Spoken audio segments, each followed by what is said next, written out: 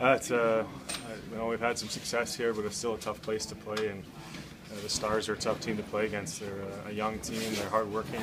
They got speed on all their lines, so it's it's a difficult challenge every time we play them. And uh, I thought we did a good job of sending a lot of pucks on net. Not too many uh, prime chances, but the ones we had, we make sure we capitalize on them.